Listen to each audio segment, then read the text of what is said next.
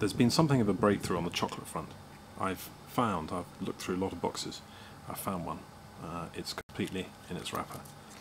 Um, but there's another hitch that I've discovered. I don't think I'm really authorised to eat it, you see. You see it says, it's not for civvies.